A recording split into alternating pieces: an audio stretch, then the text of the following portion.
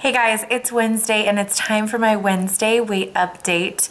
I am coming at you with no makeup other than this new lip gloss that I just got in the mail and I'm trying on. Um, it is Wednesday and the reality of the situation is that our Wednesdays are crazy busy.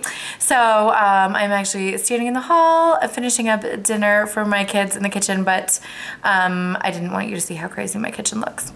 Anyways, um, this week this morning I was 183. I'll have to look back. I think I was 185 last week. So despite the fact that the last week has been super crazy busy in a good way, my baby is not a baby anymore.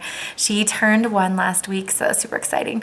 Um, and we had a party and all that stuff. I was able to mostly do well on my water day. I have to say, I think it was Saturday was a huge, huge fail. I mean, I drank plenty of water, but I also drank so much Diet Coke, I'm ashamed to admit. Um, but this week, um, that goal was so fun and so good. I'm going to try to keep up. Um, I'm going to actually try to keep track of my water and just see how I do there instead of just eight glasses um, before I drink something else. How many glasses do I actually drink? I'm just curious.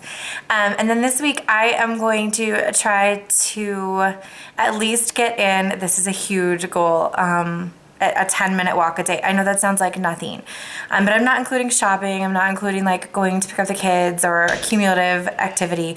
I'm talking like purposeful, get out of the house, take a walk kind of thing. So wish me luck. I hope you guys are doing well and I hope that you guys are reaching your goals. Let me know in the comments below how you're doing. Thanks guys.